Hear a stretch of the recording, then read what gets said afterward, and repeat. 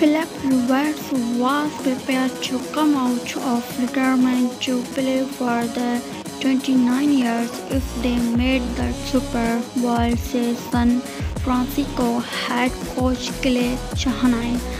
Subscribe my channel. Thanks for watching this video.